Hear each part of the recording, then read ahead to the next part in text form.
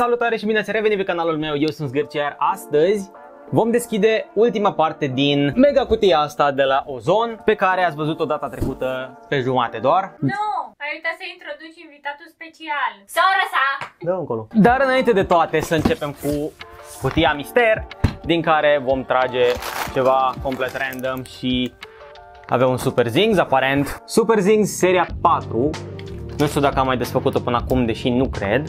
Hai să vedem înăuntru ce tigaie avem iarăși. Și avem un super erou, bănuiesc că și chestia asta trebuie să reprezinte tot ceva o ceașcă, nu? Nu știu, am primit ceva trofeu aici, habar nu am ceva super erou trofeu.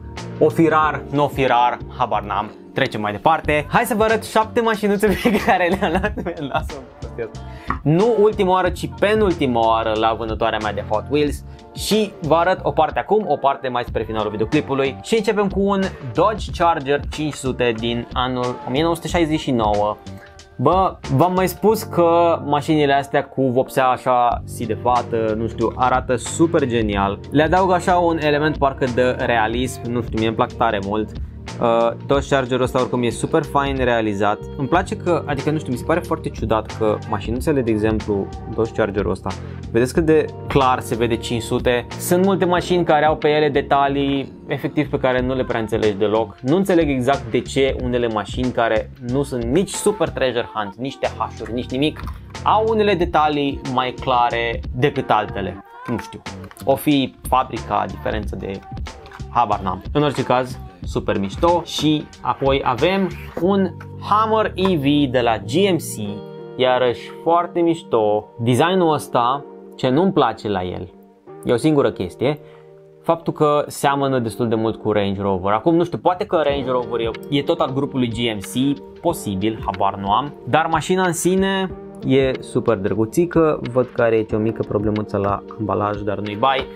Haideți să o vedem de aproape, uitați aici, un Hammer E... Wow, am rămas fără baterie. Îl vedeți aici de aproape, e super fain făcut, deși v-am zis, detaliul ăsta, faptul că cel puțin botul arată foarte similar cu Range Rover-ul, e un pic așa nasolică, dar mașina e faină, da? Deci hai să ne dezamăgim totuși. Și mergem mai departe cu un Porsche 911 Carrera RS 2.7 portocaliu. Asta chiar e simpatică mașina. Sincer, cam toate variantele de 911 mi se par așa drăguțele. Asta poate fi unul dintre modelele alea mai favorite, ca să zic așa, mai preferate de către mine, pentru că are farurile astea așa în stil broască. Nu știu, mi se par super faine. Hai să le vedem și pe astea de aproape și farurile dar și mașinuța în sine. E super drăguțic așa cum v-am zis, are aici și ceva stripes cu detalii, design, chestii, spoiler. Roțile sunt iarăși super mișto, alegeri potrivite, da?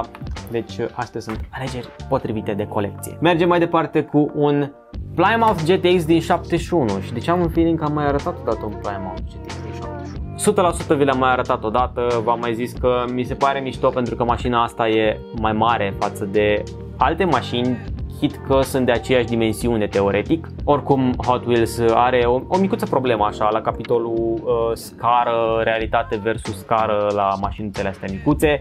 Unele sunt cu botul mai turtit, unele sunt mai late, mai scurte, mai pui mei. O să mă uit în colecție data viitoare dacă găsesc dublura am să o deschid pe cameră. Next avem un Mercury Comet Cyclone din 65. Pe asta am luat-o pentru că este un lowrider, genul ăla de lowrider pe care îl vezi în uh, San Andreas, în uh, Ghetto. Uh, îmi plac tare mod mașinuțele astea mai ales dacă au suspensiile alea așa mișto cum le vedeți aici. Avem aici Mike's Transmission, El Segundo Cyclone, Good Ear, un pic de detalii la motor, un pic de detalii în interior, și nu știu dacă să-mi placă sau nu detaliile din interior așa gri metalic. Un pic e ciudățel, nu prea sunt cel mai mare fan. Jantele, sincer, cred că se puteau uh, alege uh, un pic mai bine. În rest, mașinuță super faină. Și mai avem două. Vă arăt mai întâi BMW-ul 507. Roșu e decapotabil. Este design Bă, da, eu mi arătat mașinile astea, mă. N-am zis de asta că e aia în care s-ar plimba Kennedy. Ah, dar era pe, pe reacție, nu? E super drăguță. Mașinuțele astea care sunt așa un pic mai rotunde, mai micuțe, sunt drăguțe, sincer. Asta e unul dintre BMW-urile care mi se par așa simpatice. Nu sunt foarte multe detalii la mașină, dar suficiente cât să fie faină de colecționat. Și, nu în ultimul rând, mai avem un Toyota Supra Tund care e super drăguț, man, astea tonde super simpatice. Sincer, nu-mi dau seama exact ce drag de design are pe ea, să e ceva spartan, ce rahat o fi, stați să vi-l arăt de aproape. Ce naiba se presupune că ar trebui să fie asta? Ah, da mă, e spartan. Ok, deci este spartan desenat pe lateral, vă rog frumos. Probabil că este un design pe care îl vezi în Fast and Furious, dar eu nu știu seria Fast and Furious. Deci, uh, na, mă rog, pare la prima vedere să fie din plastic, dar nu sunt 100% convins. Ideea e că îmi plac tare mult mașinuțele astea așa tund, făcute ca din desene animate, mai ales că se replicează o mașină din realitate, din viața reală, într-una animată. Acum vă prezint uh, semnul pe care sora mea mai devreme l-a introdus pe cadru. Este un semn pe care o să-l vedeți în curând în spatele, în fundalul videoclipurilor mele, da, un semn de Stop uh, Santa Station Here. Uh, o să pun așa frumos aici. Și mai am să vă arăt chestia asta pe care am luat-o de la Funko BT Pop. Este de la Marvel DC. Am vrut să iau și din colecția Star Wars două bucăți. Și din asta am vrut să iau două bucăți. Am luat până la urmă doar una. Uh, în curând vom deschide și așa ceva să vedem ce prindem din BT Pop DC. Mergem mai departe acum cu cutia de la Ozon. Și avem cutia din care extragem mai întâi ceva deja semi-degradat. Avem un plus din Rick și Morty. foarte, e foarte tâmpit făcut, dar este un plus din Rick și Morty, care cred că este și este de colecție, deci vă rog frumos, de la, tot de la Funko. Deci tot de la Funko, azi avem aproape totul de la Funko Pop, da? Și continuăm cu ceva mai puțin interesant, avem un al doilea Dracula's Not, Not, țin bine, da, țin bine, din care avem exact același quest de făcut, Remove the Red Ring. No, no, cutter de la digitul mare. Deschidem aici cutiuța. și avem uh, aici jucăria. Mama, asta e și mai fain. Arată, arată ca asta arată ca și cealaltă parte, știi? Mă voi descurca în afara camerei cu jucăria asta. Mai țin rușine? și introducem primul Funko Pop, dacă se decide camera să mă focalizeze din nou. Prima chestie mai interesantă. Avem din Funko Pop, din Space Jam, pe Al J. Rhythm cu Pete împreună. Pete este aici, ăsta micul din metal. E super drăguță chestia asta. Habar n-am Space Jam. Din nou cumpăr chestii de care n-am nicio idee, dar e drăguț, ok? Nu e ceva special la el, ceva ediție limitată, absolut nimic. Îl las aici și mergem mai departe. DJ Khaled. Funko Pop. Îl avem aici. Din nou, nimic special la el. Este pur și simplu un Funko Pop. Dar, nu știu cum naiba au reușit ăștia de la Ozon să le scoată la vânzare la 20-30 de lei, nu știu de ce le fac reclam, reclamă în continuare că nu mă sponsorizează. Deci măcar un cadou nu a fost tare să-mi dea după o comenzi de 2000 de lei în pui mei. Și vă rog frumos, vedeți aici că are și microfon, da? Deci uh, are și microfon în mână. With the best music, chestii, Jordan în picioare, șmechereală maximă, da? Mai departe, avem din... Și asta s-ar putea... Ce pui îi faci, man? Asta s-ar putea să vă placă. Avem din Black Mirror pe Ashley 2. Din nou, nu știu cine este și nu știu nici Black Mirror. nici nu știu de ce vi le prezint sincer, că probabil nici voi nu știți cine sunt personajele astea. Dar este Funko Pop, da, deci uh, Bun. Din sezonul 5, episodul 3, au zis dacă vreți să știți cine e personajul ăsta, pare a fi ceva roboțel dubios, malefic în viitor, pe care putem face. No, hai să facem și ceva mai special, nu? Să, să deschidem ceva mai interesant. Și avem Limited Edition din convenția de vară Funko Pop 2023. Îl avem din Lord of the Rings pe Frodo. Este de ediție limitată, da, și sunt aici niște detalii foarte speciale, cum ar fi Picioarele. Da, men, picioarele. Picioarele. Au, uh, nu știu exact ce e, pământ, rahat, nu știu. Ce? E blănit. A, e blănit, a crezut că era. Asta ca să vedeți inteligența unde duce, da? Deci, uh, că tot mă lăudam. Vedeți aici că este lovit, are în mână ceva chestie, man, eu nu știu nimic din ce e aici, frate. Are în mână inelul lui Sauron, auziți, dar picioarele sunt. Avem aici, deci, primul Funko Pop, care este ediție limitată. Mergem mai departe cu o figurină din nou de la Brawl Stars. Avem două, dar acum vine a treia. 3, 2, 1. Asta e Shelly, nu? Wow! Hai că asta e Shelly. Da. Am prins-o deci pe Shelly, da? În sfârșit cunosc eu un nume din tot ce deschid. Și avem uh, patru brelocuri. Toate patru sunt din Super Mario. Aici îl avem pe Toad. Hai că pe Toad îl știu, n-am cum să nu știu pe Toad. Îl avem pe Mario. Ăsta sunt destul de convins că e Bowser, dar nu, nu știu 100%. Nu, nu scrie cine e. Dacă nu îl recunoașteți voi cine este și îmi scrieți acolo în comentarii. Și ultimul este Yoshi. Îl avem pe Yoshi Breloc din Super Mario. Pe astea știți deja, îmi știți fixismele, uh, nu le desfac, le țin exact așa cum sunt.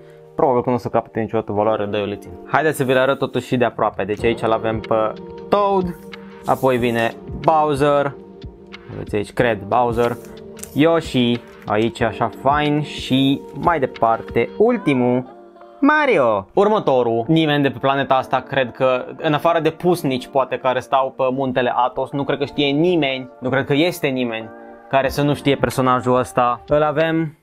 Nu știu cum îl cheamă. Oh my god!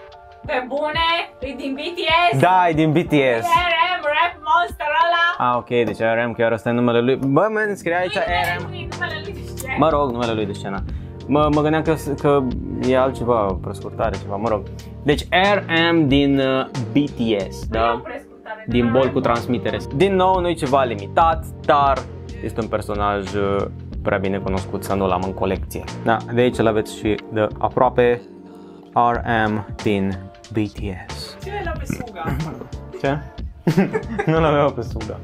Bonus cadou de buzon. Da, cadoul de la Zon chiar e Suga, că am dat 2000 de lei și nu mi-a dat nimic bonus în puii mei. Mai departe, nu pot să zic că avem ceva neapărat special, deși scrie aici uh, un fel de special edition, este din Marvel Lucha Libre, îl avem pe El Heroe Invicto. Este aici. Um, Deci seamănă extrem de mult cu ceva uh, personaj uh, wrestling și probabil că asta și este de altfel din uh, Marvel. Nu cunosc seria asta Lucha Libre, dar e super mișto. Bitch, El Campeon, bitch, din Brawl Stars. Da, seamănă un pic cu el campion din Brawl Stars. O să-l chemă el campion? Da. Ok. Acum observ că ăsta are ureche nasture. Ah, e Bobblehead! Băi, Bobblehead ăsta. Vedeți că are aici arc, deci dacă îl pun jos, teoretic, dar nu o să-l desfac. Știți deja că nu o să-l desfac. Sau o să-l desfac? Hai că-l desfac. Trebuie să văd. Man, o să vezi imediat oricum. No, haideți, asistați acum la prima mea, primul meu unboxing de Funko Pop. O scoatem pe ăsta din Lucha Libre. Și îl avem aici. Man, cum naiba să desface chestia asta? Nu se rupe, nu? E ok, e ok, nu s-a rupt. E ok, și îl avem aici. Man, mi-e frică să-l ating în pui mei. Deci că se comportă așa de să fie ceva aur, frate. Nu. Și v-am spus, da, deci uitați aici, da, țin de picior. Ce codița aia frumoasă la spate sau ce pui mie aia? Și dai super mișto. Nu ai vrut să desfaci. Fără praf. No, și pe ăsta cu chiar că îl vedeți de aproape, da, deci vă rog frumos să apreciați chestia asta. Are, cum v-am zis, urechi nasture, are la spate ceva codiță și arcul ăsta care un pic mă enervează că se vede, dar eu, bă. și acum să vă arăt ultimele șapte mașini pe care le avem de la Hot Wheels, de la ultimul meu penultimul meu hunt, că pe ultimul l-ați văzut deja și vă arăt așa. Avem un Koenigsegg Gemera de culoare galbenă, e genial, mașinile astea adică super mașinile astea, v-am mai spus, nu îmi vor lipsi niciodată din colecție, le voi avea forever, ori de câte ori prind una, am să o cumpăr. Este de culoare galbenă, este Koenigsegg. Cum să vezi mașinuța asta și să nu te duci cu ea la casă? Să vă arăt așa mai de aproape frontul, E ca lumea. Alegere în sfârșit minunată de jante față de ultima oară când v-am arătat uh, mașințele alea de Hot Wheels. Apoi avem un Custom Camaro din 68. Ăsta iarăși îmi place la nebunie. E un design de ăsta așa asiatic. Ori de câte ori văd uh, design asiatic pe mașină, o cumpăr. Aici aveți și de aproape mașinuța și vedeți foarte, foarte fain designul, gen pe bune man. Ăsta chiar e super fain realizat. Îmi place că are și detaliile astea în față la motor. Sincer, cred că îmi place tot la mașina asta. E una poate dintre preferatele mele chiar, din colecția pe care o am. Custom Camaro, genial, 10 din 10, fără îndoială. Avem mai departe un Ford Mustang Mach-E 1400. Ăsta, bă, e fine și totodată nu. E genul ăla de mașină care îmi place și nu în același timp. Nu prea îmi place mie nuanța pe care o ales-o de albastru pentru mașină. Am să vă arăt acum de aproape, nu știu, poate voi aveți o altă opinie. Mie nu prea pot să zic că îmi place, ceva nu se potrivește, nu știu, poate din cauza că spoilerul e de aceeași culoare cu mașina. Pare un pic, zici că e ceva mașină mai degrabă prototip decât mașină pe bune, gen. De exemplu și în față botul mi se pare un pic așa, bă, nu știu, ori am prins eu ceva, bă, poate am prins ceva eroare, habar n-am. Pare nefinisată. E foarte ca lumea, dar nu e neapărat preferata mea. Avem mai departe un Celero GT, care există și în varianta Super Treasure Hunt. M-am uitat la o groază de dintre astea în magazine, n-am găsit încă varianta Super Treasure Hunt, dar este oricum super mișto. Sincer, de Celero n-am auzit, cred că niciodată, dar bănuiesc, deci eu bănuială, că e undeva în categoria gen Rimac gen hipermașină, cum se spune astăzi. La asta, sincer, ce nu îmi place e faptul că are vopseaua mătuită pe ea și faptul că e mătuită o face un picuț așa să pară ca și cum e din plastic ca și cum e fantasy gen. Îmi place foarte mult designul mașinii, dar culoarea, mm, așa și așa. Mergem mai departe cu un BMW i8 Roadster, care e una dintre mașinile mele preferate. Chit că e BMW și v-am zis că nu prea sunt fan BMW, mașina asta și M3 GTR-ul din Need for Speed Most Wanted sunt mașinile mele hai poate nu chiar mașinile mele preferate, dar pe acolo, în uh, jurul acestei definiții. O vedeți aici, e iarăși super faină, mă enervează că sunt un pic prăfuite ambalajele, dar nu cred că e tragic. E super mișto, e roadster, este decapotată. Cred că putea fi un picuț așa mai complex, mă duce cumva cu gândul la mașinile de la Matchbox mai mult, din simplu fapt că e prea simplistă, adică pur și simplu are o vopsea neagră și atât. Dar e mișto, BMW i8, super. Și așa de final vă arăt uh, două mașinuțe care una nu prea îmi place și sincer nici nu mai aduc aminte în afară de faptul că are ceva design corean, nu mi-aduc aminte exact de ce am luat-o. Este un Mighty K care e destul de urâțică. Din nou, nu știu care mi-a fost uh, gândul când am luat-o, Uh, nu pot să zic neapărat că regret, dar uh, nu pot să zic nici neapărat că sunt cel mai fericit și mândru că o am în colecție. Pare să fie ceva mașinuță așa utilitară, e hai că nu pot să zic că e chiar urâtă, am văzut mașinuțe mult mai urâte decât asta. E simpatică așa, dar uh, eh, merge. Ce vedeți și pe asta de aproape cu designul corean de care ziceam, cel puțin așa cred că este corean. Văd că are și un skate acum de bal pe spate, pe care l-a lăsat roșu, care nu are niciun sens, man. În orice caz, drăguțică și urâțică în același timp, merge. Și pe ultima mașină nici nu are rost să mai arăt de aproape, este un Datsun Bluebird Wagon pe care ați văzut data trecută că am văzut-o și de aproape deschisă, o avem aici. E genială mașina, dar n-are rost să o prezint uh, de aproape, cum ziceam. E faină, e poate una dintre preferatele mele, cel puțin când vine vorba de culoare. De faptul că au pus culoarea asta care e holografică, așa. Super mișto și cu ocazia asta am încheiat și episodul de astăzi. Mai avem încă, deci încă mai avem o tură de Hot Wheels și o tură de astfel de chestiuni. Chestiuni. Un expert îmi spune aici, sora mea, că uh, de fapt este design japonez pe ea, nu corean, deci pentru haterii care deja mi-au scris comentarii în draci, îmi pare rău, scuze-moi, mă fac plecăciune în fața voastră și cum ziceam, cu ocazia asta am încheiat episodul de astăzi. Sper că v-a plăcut, dacă da, nu uitați să dați like, share și subscribe. În rest, sugestiile jos în comentarii, eu cam atât am avut de zis. Eu am fost Gârcea și vă salut. Ne revedem în episoadele următoare de pe canal. Posibil cu Hot Wheels, posibil cu gaming. Vedeți că sunt prea diversificat, sunt deja uh, imposibil de prezis. Mulțumesc frumos pentru vizualizare. Bye bye.